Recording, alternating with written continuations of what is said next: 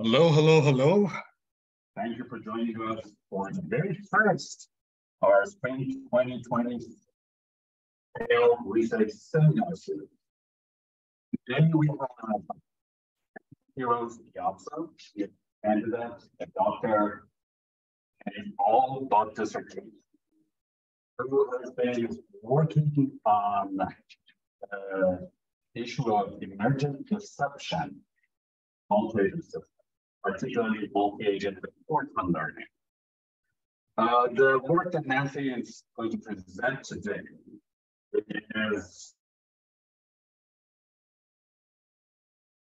AAMAS 2023, and she is traveling to London in attendance at uh, the premier multi-agent systems. And the paper is titled A Theory of Mind Approach as Test Identification of Communication. Um, just to do a quick check, I hope that the screen is shared. Uh, I hope that everyone can hear us. If you can't, I don't know how you would be able to tell me. But with that, and without further ado, please welcome Manicure.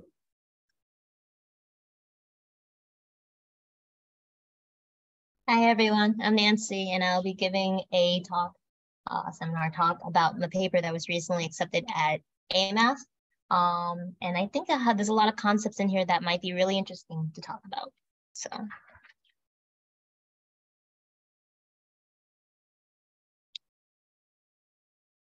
Okay.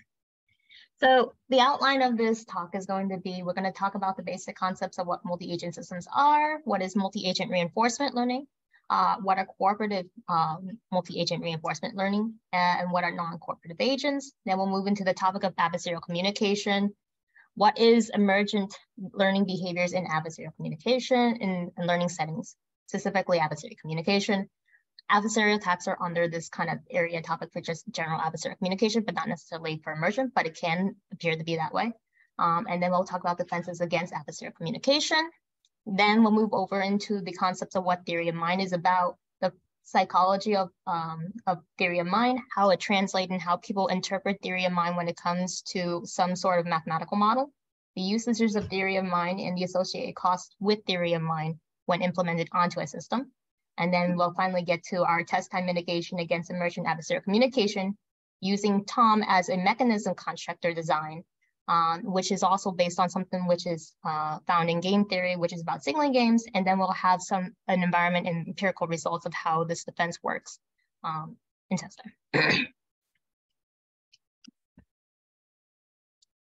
so multi-agent system is a really general uh, definition. It just implies that we have a set of n agents which interact with a shared environment. Specifically, um, multi-agent settings, right, has we usually in single settings, right? Um, when we learn when we talk about learning framework, we talk about single agent reinforce, reinforcement learning, which is called RL. In multi-agent learning settings, we translate some of a lot of the methods from single RL to multi-agent RL.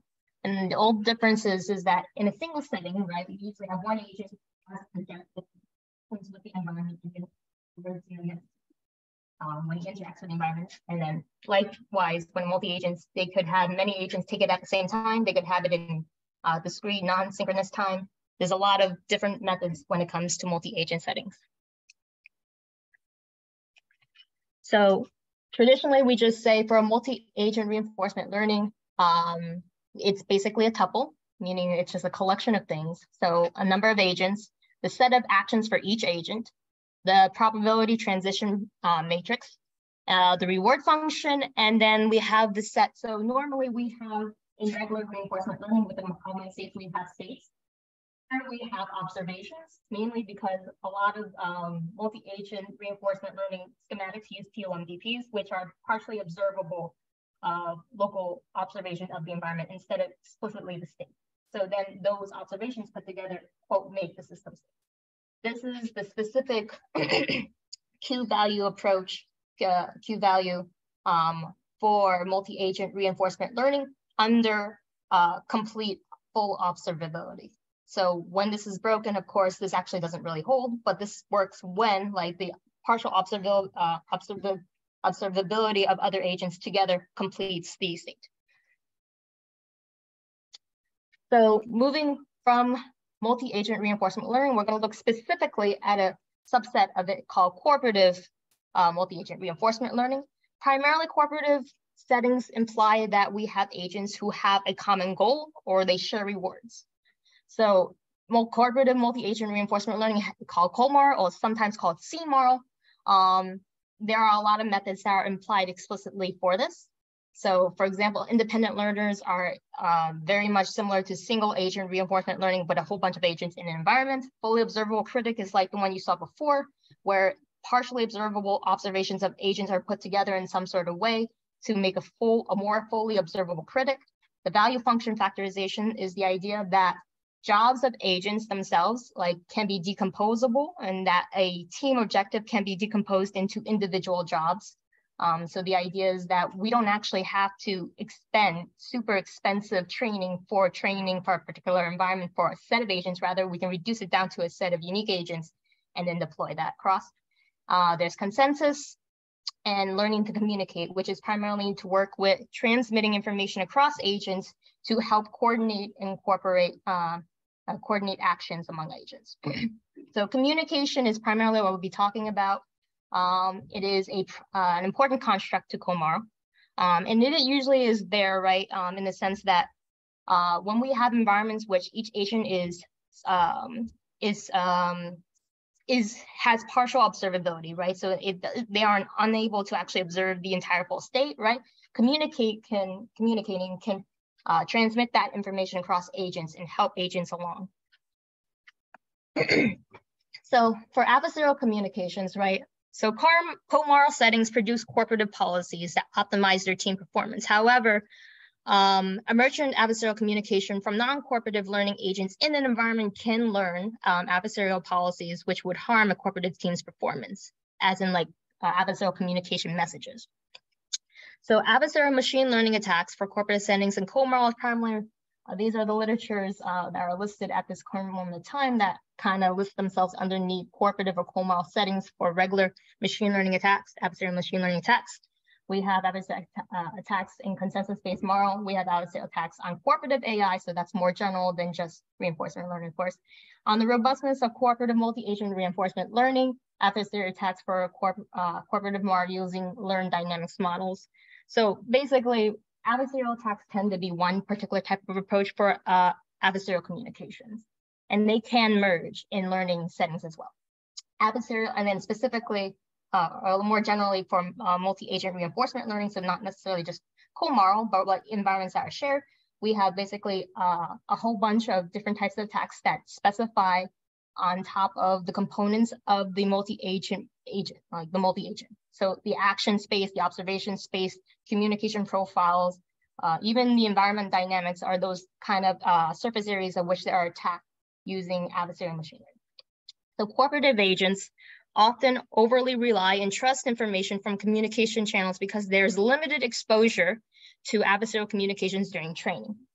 Uh, right, so if you're training in a setting for a cooperative task, you're not really in, trying to learn like uh, uh, a variety of distributions which represent adversarial behavior. You're just working with cooperative agents and they learn together. So for defenses against adversarial communication, there are two defenses that are primarily out. One of them was more recent and one of them was used for the paper explicitly. So message filtering is the concept that where if you have a communication message that's being transmitted to another agent or to a set of agents, right? You can filter through that information and, uh, and determine how much weighting of that particular weight of that message do you want to incorporate into your decision making for a model. So that's the variation autoencoder Bayes um, method that was proposed. And then there's something called the ablate message ensemble, which was from a previous, uh, more recent paper, which was primarily working on not too different in terms of encoding uh, schematics, but um, it was a little bit beyond the scope of this paper because this was later on. So for the first one, for the vari uh, variation autoencoder Bayes, right, the idea comes that weighing information based on location distribution can have some sort of uh, filtering mechanism or parity that you can apply onto data to filter out um, basically obvious deceptive uh, data or adversarial data. So does this message distribution match a learned cooperative distribution? So specifically for the VAEB, they trained this model, their general model, on cooperative data that was um, that was queried to the set of agents, right? So they learn the corporate distribution that's sitting in the model uh, fixed parameters, and they use that on top, like a layer on top. So it requires training a defense model and a retraining of the defense every time the underlying um, learned policy of these agents are changed. So if you say train your agents one day, you train the VAB. If you end up retraining the agents for some other reason, right, you'll have to retrain your VAB. So moving on to theory of mind. So theory of mind, before we get into this, right, is the is that it first originated from a paper that was about chimpanzees and whether or not chimpanzees have a theory of mind and they can associate concepts of other people's desires, intent, and so forth, right? So the idea of theory of mind is that you're assigning mental states to others. Like that's actually used as a factor in part of your decision making. And most theory of mind models kind of are modeled after Bayesian reasoning, and they use some sort of order of K-order reasoning, so recursive beliefs. What I think you what I think you know, what you think I know, so forth. So Tom can be leveraged by CoMARL to promote coordination, cooperation, and collaboration. So there are works on Tom that are primarily used for the benefit of cooperative cooperation um, settings, often demonstrated through games like Hanabi. So Hanabi is a game uh, where it is a fully cooperative game where you need to coordinate people's actions and cards together, but you can't, but you don't know the actual face of your cards themselves. So in some ways, right, you have to signal by your decisions alone, like wh whether or not you decide um, to uh, put down a card or not, um, to signal to other people whether or not uh, to maximize the, the goal of Hanabi. So primary, um, um, the primary methods of Tom is probabilistic recursive reasoning and generalized recursive reasoning. So those are really just the models for Bayesian reasoning, K-order reasoning.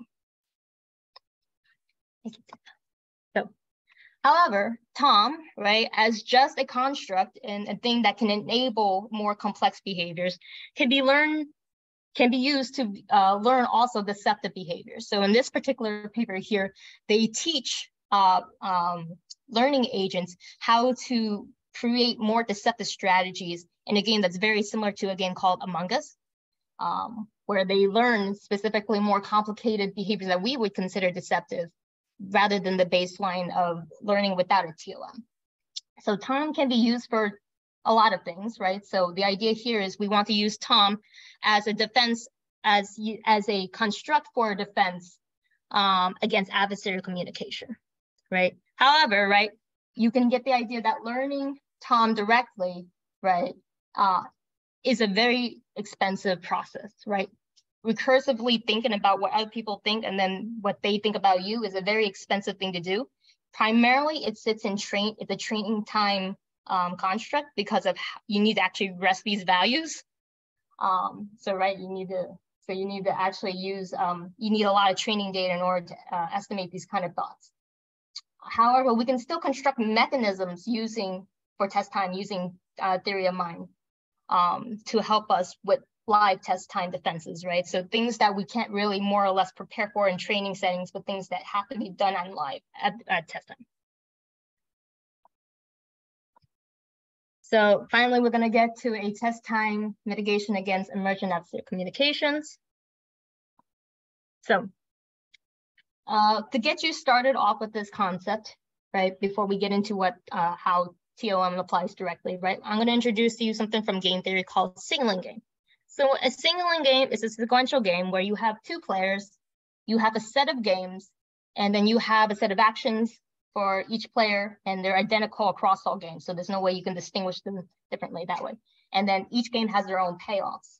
So forever uh, strategy profile, so pairing of actions between you, player one, player two, you determines your payoffs. So the rules of it is that both players know that there is some nature or distribution of the initial game. So like this is like the, the player uh, nature, which is known and, and it pulls a game from this distribution. Player one doesn't know, uh, player two doesn't know exactly which game it is. They just know the distribution. However, player one does know what game it is, and so they make the first move. So the idea is that player two, while they may not know exactly what game they are in, right, they can observe player one's actions, and that will be used as some sort of way to influence their decision making to select the best outcome. So in other words, right, information can be deduced from other rational agents' actions. This is very much aligned with the concepts of theory, uh, theory of mind, or if its implied formulation is K-order recursive reasoning. So to set the stage of how we're going to use Tom for the um, test time, uh, let's start with some assumptions. So let's assume for a cooperative agent, so this is specifically um, for the settings where agents share the same policy are homogeneous, right? So Tom says, does the actions of another agent match my expectations of their actions under cooperative settings? So assuming that we actually all share the same brain, right? If we are given the same message, then we should expect the same behavior out of it or same distribution out of it. In communication settings, we consider cheap talk messages. So primarily a lot of uh, learning frameworks, when they introduce communication, they don't assign cost to communication. They're cheap talk, meaning they can freely exchange information. There's no associative cost to it. And that's why they're trying to encourage communication across it. So a message M uh, at a one time step before T um, that matches an action at A T. So in other words, you observe an action that occurred. Um, you observe, let's say you got a message from a previous time step. Then at the next time step, they actually perform the action, you get to observe whether or not their action is consistent with their message. So, uh, so yeah, so in other words, you evaluate their message.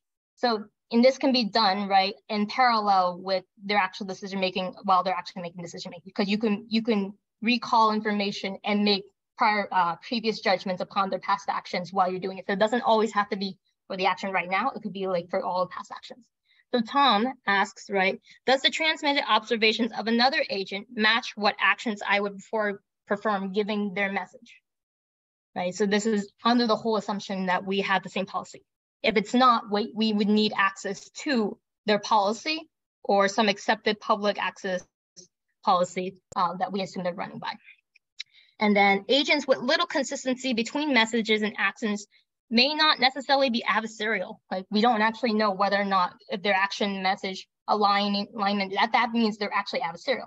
However, should we consider their messages as, as our input if they're not following their own messages? So we may not be able to distinguish if they're just solely adversarial, but we may be able to catch a bunch of a proportion of the population of adversarials in there. So primarily belief models, because we are using a belief model, right, is the belief of a trajectory given all your past action history. So this is something we call the AOH, is the action observation history up until the time step uh, prior, right? And so you can kind of uh, think of this as it's a conditional probability model.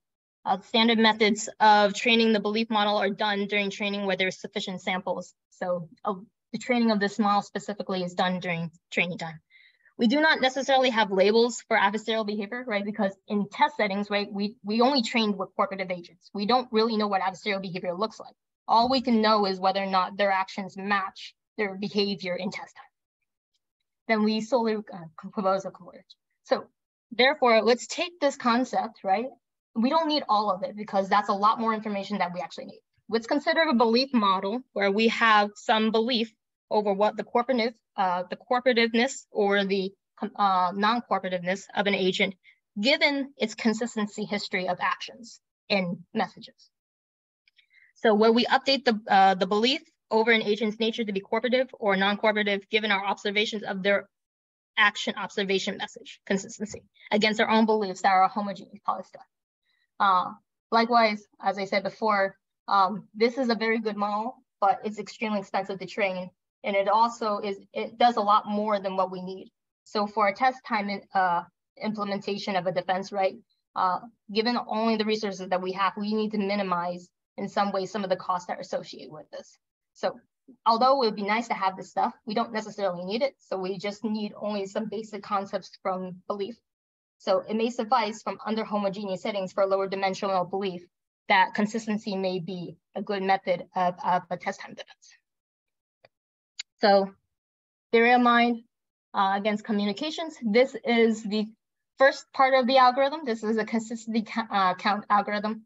all it does is that each time that each cooperative agent has basically the previous message sent from every other agent, right? And then they will observe the actions of all other agents at the future time step.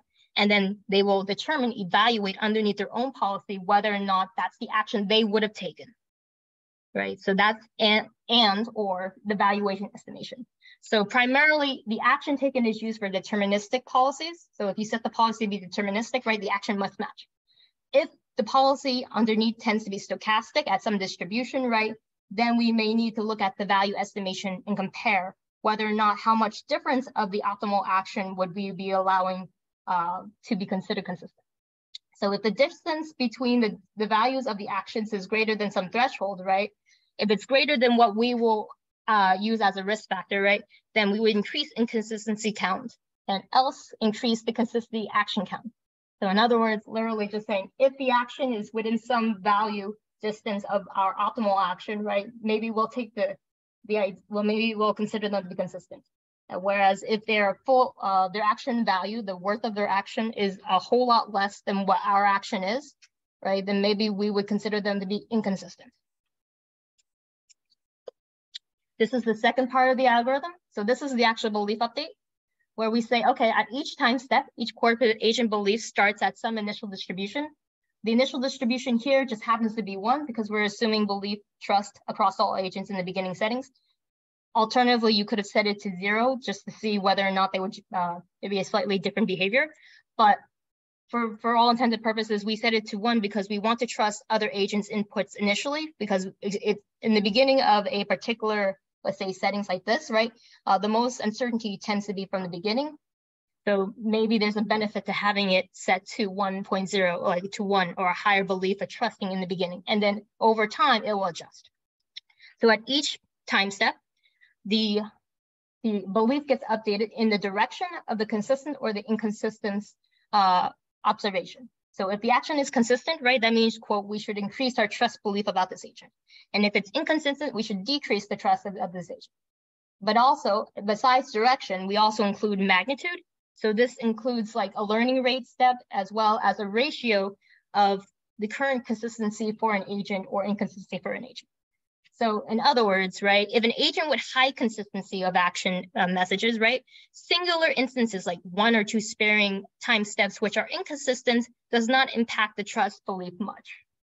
Um, and likewise, agents with high inconsistency, right, singular instances of consistency does not impact the trust belief that much. So you might be very skeptical of, of another agent, right, with high consistency. So let's say consistent for one or two time steps in the future, right? Then the magnitude of you adjusting your belief should be a whole lot less than if it's than it's vice versa, right? So that's where that kind of comes from. So the ratio is based on the consistency count over time steps so far. So moving an agent from high consistency to low consistency requires more frequent and consistent actions, as well as consistent actions, right? So, so this is the experiment setup. I just have this little GIF here to show you the idea of what the environment looks like in over time steps. So the task is to maximize the coverage of a 2D uh, grid map. You have basically two teams. You have like the cooperative team, and then you have like, you know, self-interested agents. So you can send with the other team. The actions are basically move up, down, left, right, no movement. And then all actions under this particular setting are joint actions, meaning they're all taken at the same time and uh, discrete time actions. The observations for each agent is going to be the local radius of the agent. Um, the reward is plus one for every white square that becomes one color, right? Um, and then agents, primarily they're cooperatives, so because this is a cooperative settings, and they follow something called the centralized training, decentralized execution, which means that in order to make training more efficient, right, we're using the same architecture for all these agents. So this, the, uh, the policy that's running this uh, agent, this agent, this agent are all the same policy, but they see different observations. And then we have the task. So one of the most important things about the CTDE, as specifically for this task, is that the pursuit of local rewards for one agent, like the greedy local rewards for one agent, um, is representative of the maximization of the team reward. Not in all settings, that's not necessarily true, right? Because the maximization of local greedy rewards could result not in the maximization of team rewards, but this is the specific setting for this. And then messages. So messages are learned encoded representations of the local observation. So the radius, right, is learned, uh, is passed through like something like a, a convolution neural network, and it's some represented encoded latent space, which is shared across all agents. So all agents are transmit, they transmit their messages, which are aggregated together by an aggregated neural network, an AGNN, which outputs, which the explicit output is a joint action. So an action for each agent, and then each agent gets that action and they perform it.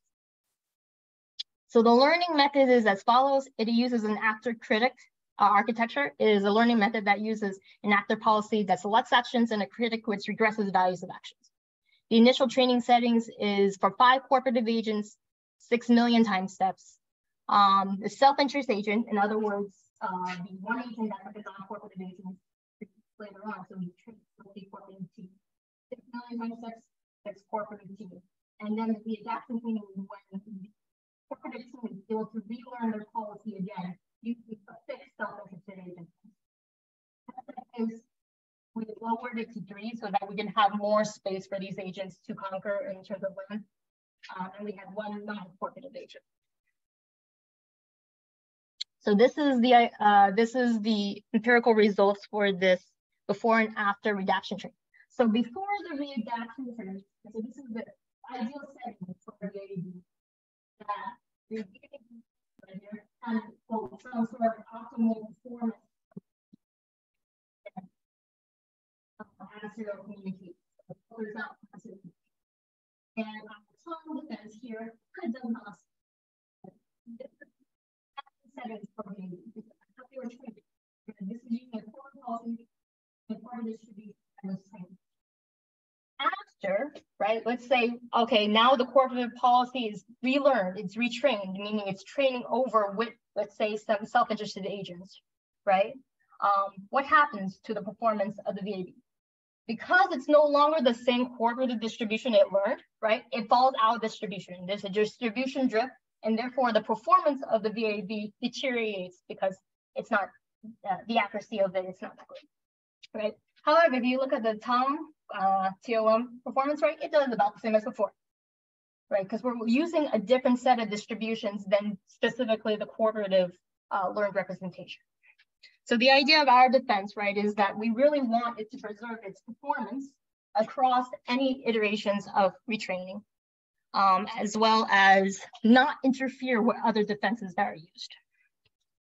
So here's the false positive, false negatives, F1 scores of it. So you can see over here that the VAB, um, the readaptation training, where we have a mean count um, right here. So false negatives meaning trusted adversary means that for the VAB, um, the way that it was working with is that kind of through everybody to be um, it was just distrustful of everybody. So that's why you have very low trusted adversaries trusted adversaries. In our particular defense, like there's still going to be a false positive count that results in it the false positive here is that, okay, so this trusted cooperative, because the baby distrusted everybody, that means they very much distrusted everything new from corporate agents, right? But our behavior is, is a bit less in terms of that. Um, because some of the behaviors that get encapsulated between the differences, right, is features. And then we have the true positive quarter detention, uh, detection uh, mean count. So in other words, right, how many uh, uh, cooperative detections, uh, cooperative agencies accept um, messages, obviously zero because it distrusts everybody. And then ours is like, you know, it's 200 out of like 300 and something times or over, uh, yeah, 300 something times And then we have the true positive for adversary detection. So basically it's very similar here. Our TOM is very similar to VAEB because obviously they distrusted everybody. So of course they're gonna get time. And then this is the F1 scores. You can kind of see that TOM is a little bit better at um, uh, readaptation training than the So the conclusions thoughts here is that theory of mind, while primarily viewed through recursive reasoning and requires it's usually used in training settings, it can be a mechanism design, like explicitly the way we design the defense, right? Um, under certain settings, such as homogeneous or cooperative settings. Introducing mechanisms constructed from the concept of the mind may be preferred under test time settings, explicitly test time settings, in comparison to directly attempting to learn a cooperative team's representation distribution, which can drift in with readaptation training. This mitigation is designed not to interfere with other defenses like VAEB. So think of them like a layer defense, right? This is just another layer. We want to minimize the interference with another defense, and we want to minimize the amount of training or any sort of uh, fine tuning that has to be done for this defense because while you have to retrain the VAEB, you don't want to go train another layer of another defense because that would be expensive. So that you want them to be able to coexist and avoid excessive training. For future work, theory of mind is a big construct. There are many applications, but um, some of the things that we'll be talking about for future work are the limitations to theory of mind, like the limitations to recursive reasoning. You know, there are costs associated with theory of mind to actually recurse. Like as human beings, like we have theory of mind and it benefits us. But for simpler organisms, they may not have necessarily theory of mind because it's just not beneficial cost efficiently for them. Um, there are exist strategic scenarios which can evade these defenses, right? Because this is a mitigation technique, but how easily are they reached during training? So the one thing that we didn't really do is we trained with this defense to see if any emergent other adversarial behaviors emerged. Um, and then if theory of mind is used in traditional settings, right, does it actually suffer from the distribution um, that occurs during additional training? Like is theory of mind, at least in these settings, right? Um, is it using a stationary distribution which is preserved across all iterations of training? That's something to be asked. And these are the references. And that's Thank you. um, very well done. The I watched uh, Uh, I'm going to start the Q&A with a quick question about the update out there. Can you think about that slide? This one, right? If you were to slide at the new how do you believe in uh, the performance? So, so as you imagine, right? For an inconsistent agent that becomes really inconsistent, it decreases over time. So a lot of false positives in the beginning and then slowly decrease over time. So it kind of curves out. If you reversed it, right, you start at zero, you're going to have a uh, false negative for in terms of distrusting agents, but then it'll curve out to being trusting because of the behavior, because it'll slowly drift off for um, consistent agents. And then the agents that are quote not trusted, right, would relatively stay low belief. How do you know that it curves out? In other words, how do you know that it converges? So the reason I say curves out is because um, when it comes to a belief, right, the belief itself is just going to be, uh, in terms of updating right, it increases or decreases. And it's set to basically estimate the distribution of consistency. That's it. It doesn't necessarily say anything about adversarial behaviors if it's um, containing all adversarial behaviors, but for that particular settings of just the way beliefs gets updated, right? The consistency that gets estimated is going to be like at some point, right? Unless you have a very strategic method of um, of, of, a, of um, a mixture of consistency and inconsistent actions together, which may flip the belief to doing uh, to um, when, when uh, um, straddle between values. Um, generally speaking, right? If inconsistent action is a good representation or indicator of at least non-cooperative behavior, right? Then you'll have that smooth curve. So if I understand correctly, you're saying that we know if the self-interested agent is always self-interested and has stationary policy going to converge. This belief update belief update over consistency with cooperative policy. So um, when it comes to objectives, it really comes down to the assumption of what type of objectives they have, right? If you know their objectives in this settings with finite resources are going to be at some point in conflict with yours, you will see a diversion in action because they need to perform actions in their pursuit of interests. If we're in settings where we don't exactly know their objectives, right? That may not even be there. That means something we can consider because we won't be able to know whether or not their actions distribution, you know, is optimal for both us and them in terms of that, but their message distribution may not. Very well. In.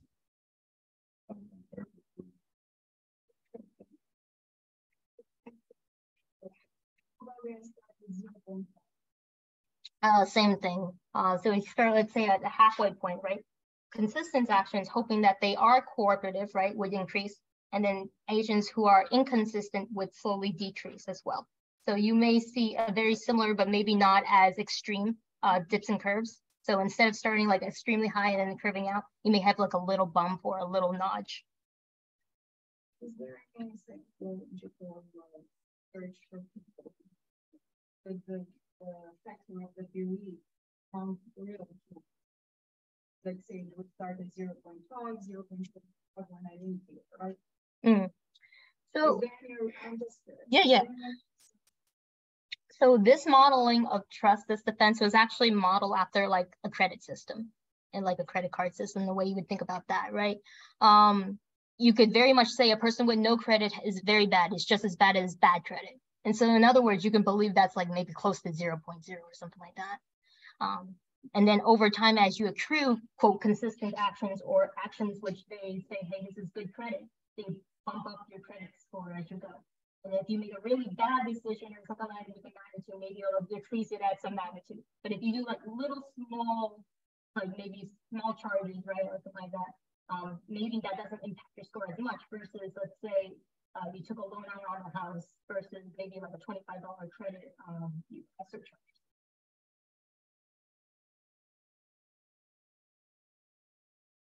Thanks. Yeah. Great presentation. Thanks. I was wondering, so you have to find evidence belief. So I believe this is the low dimensional belief that you mentioned. What's the high dimensional belief? So let me move up. This over here. So high dimensional belief tends to be looking like this. So in conditional probability is the probability of a whole trajectory given the past history of actions that we have taken or the action, observation, and pairing that taken. Um, that's very high dimensional, right? If you think about any chain probability, unless you decide to squash it down into just uh, conditional, which is one step time step. But in terms of uh, complexity, right? The output of this particular trajectory can be extremely high dimensional because the observation space could be.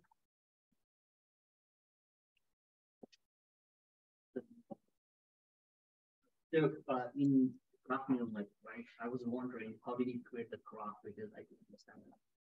I understand you are sharing the messages between agents over there, right? Using uh, passing yes. messages, messages using aggregation graph neural network. Okay, so it works like this. Each as an encoded code is the message uh, uh, vector, right? message that's encoded using the local observations. All the agents vectors are put together based on their location, right? And then they get added into a, a into a vector that's about maybe I don't know how long, but it's a vector of n size. And then each agent's input is contributed based on the location of where they're coming from. So that's how they kind of get inputted together. They toss in a whole bunch of Z's and then outputs a uh, an aggregated input for each agent based on the radius of location. So that looks reference to the graph or is it a reference to the other uh, location of the radius? So the radius is, is more or less determined by the agent's radius. So let's say if the radius was like three or something like that, right? An agent that's over here, his input wouldn't actually actually come in like into the oh, actual so only agents. Like, oh, so radius particle agent and you have defined that, right? And then, and then certain dimensions of the agra um, aggregation graph neural network represent different radiuses as well. Mm -hmm. What's the question answer? Yeah, I was wondering like if you had taken like different agent position and then you were creating the graph out of it, but if they were taking a simple uh, single agent as its own, what is it, like center of the graph and taking the radius Right. So what I know about the the settings that was done in is that um, you know when you um, multiply matrices by some power, right, to to decrease or increase some values on set in the graph, right? Um, they use the radius as basically a factor of weighing messages further out. So the further you are out, the less input actually gets put into your decision making, and then the closer they are, the more the higher magnitude of input is actually put into into your into decision making. So that basis is basically how much area that they have covered, right? Uh, so yeah, so yeah, the the observation for each agent is like maybe if I say three radius, right, it's a three by three nine grid. And it's literally just saying zero, one for if it's already used or not.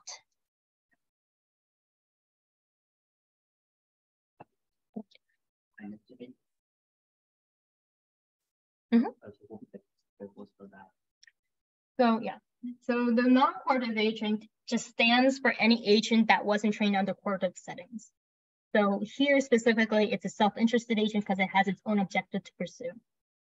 Um, that's usually what we call when we say non-cooperative. It just not, wasn't part of the initial cooperative setting as training. And he kind of just int was introduced into the multi-agent settings and he was learning with other age uh, other agents at some other point.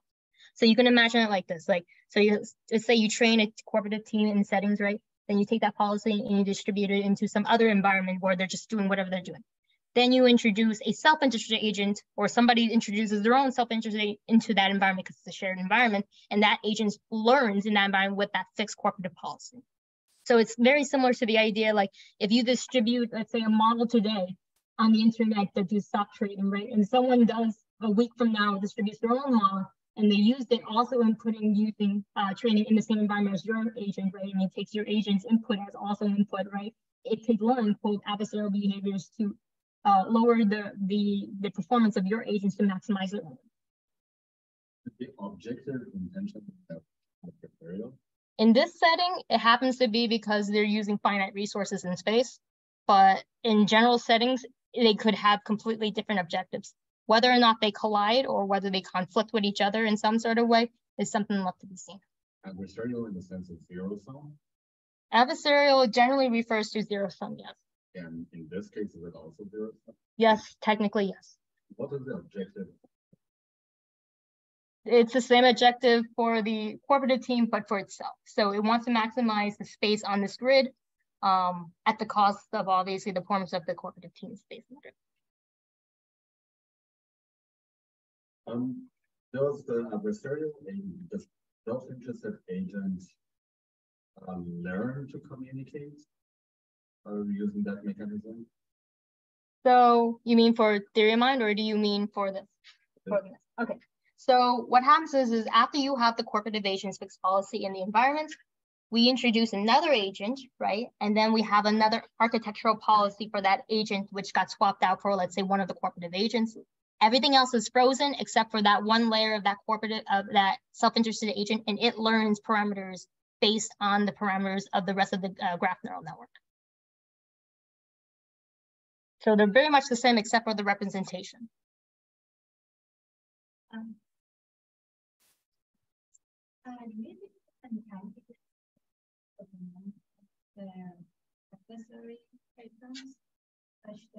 any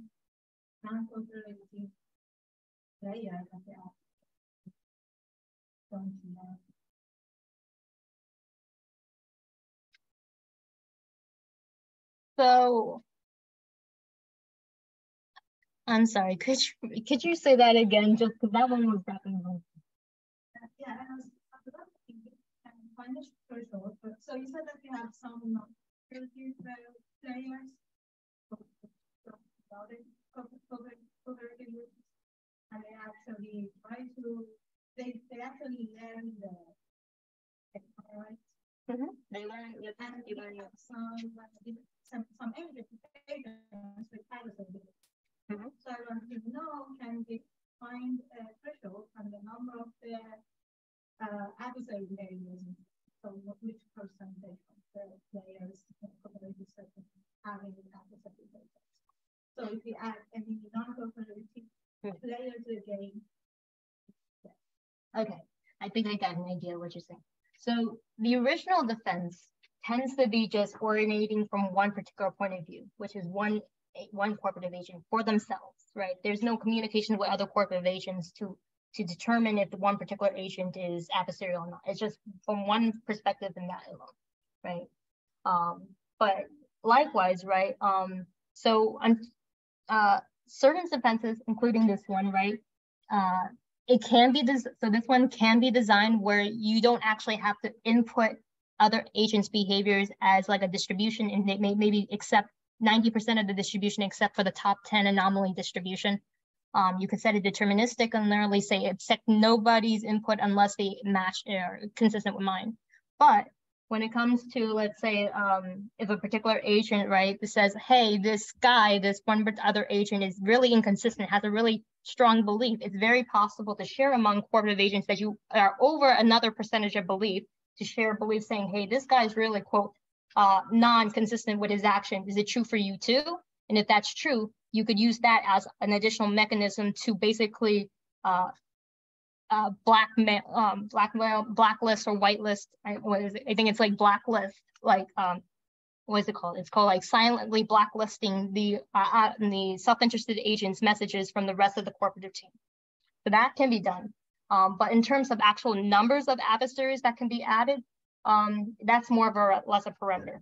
The defense that we have right now has set it so that a certain percentage of stochasticity, uh, stochasticity can exist for these agents in case there's like an uncertainty parameter that was added for some reason or another um, for it. But if you make that deterministic, right, then you could completely avoid uh, distribution across, uh, you could completely avoid um, the concepts of um, having some uncertainty for other cooperative agents' actions, even they don't exactly match yours. So and all in all, it depends on the defense.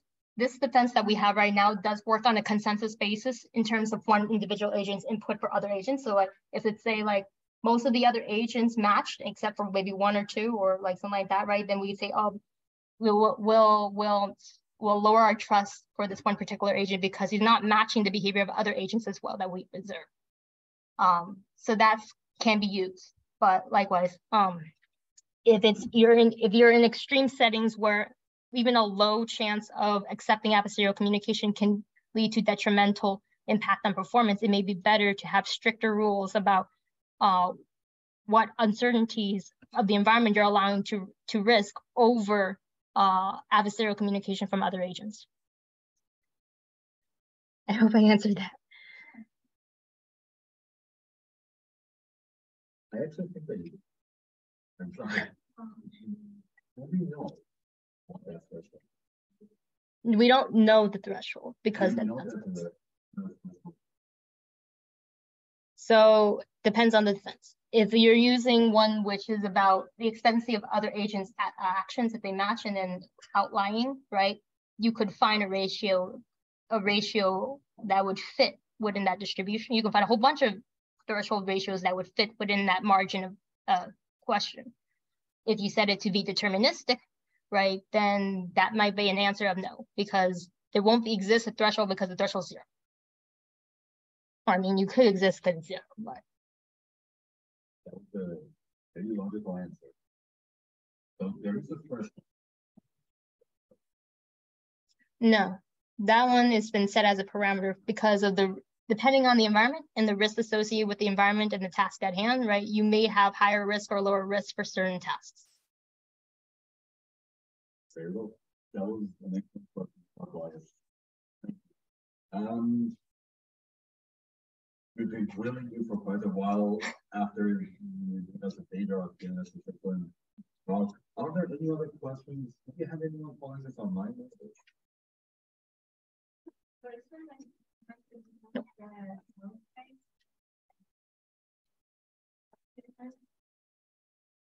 Please? Like, just the kind of everyone can tolerate something, so some players cooperate, they create. And the they try to. hear whatever. The Reddit thing, right?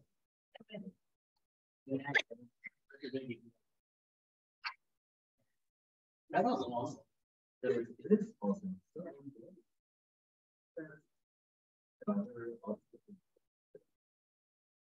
Yeah. One solution, I'm not sure if that's gonna be working. Our place. There, you see the graph that you created, right? So you see, like, this is.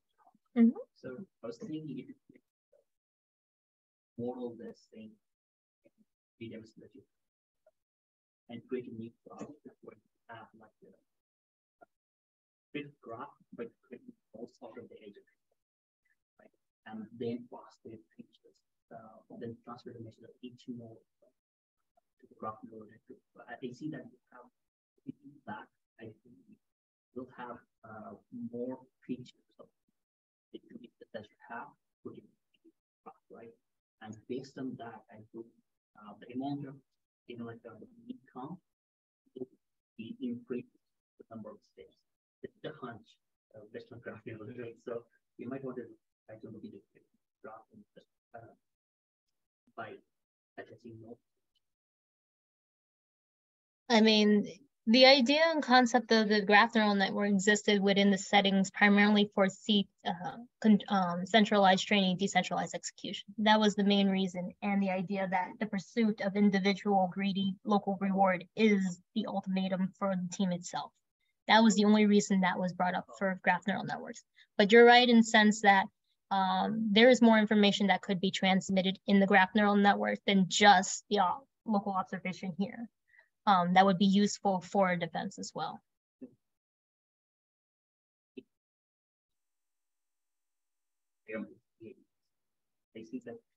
So- The AGNN is the model that was set with the environment for the initial um, training settings, right? So that's primarily where that came from. Uh, TOL was implemented on top of it. And same thing with VAEB.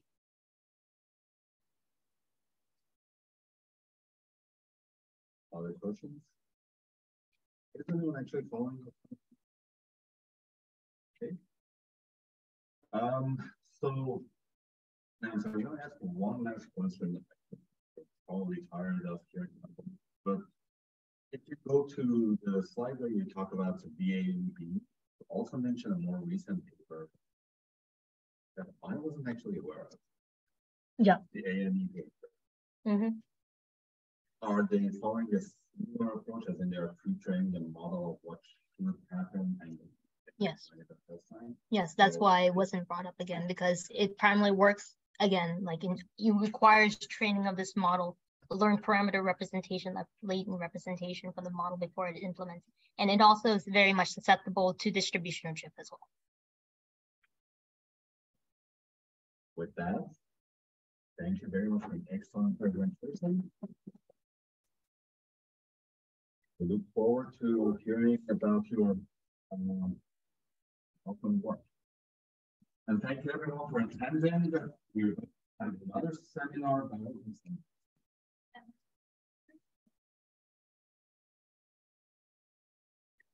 that the same as, the same time as the mechanic? Oh, yeah, oh, yeah,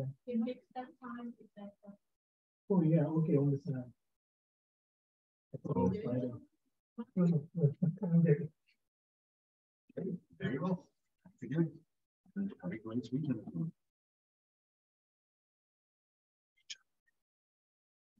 Did you stop the recording? And